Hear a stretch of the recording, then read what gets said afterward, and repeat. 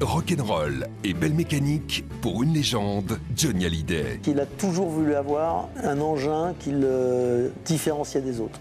C'est Johnny. De Monte-Carlo au Paris-Dakar, en passant par la route 66, une vie de passion, de course et de folie. J'ai jamais vu quelqu'un conduire aussi vite, c'était grotesque. Il était inconscient. La route et tout ça, ça m'a complètement défoncé la tête. Un truc qui m'a plu là, toi.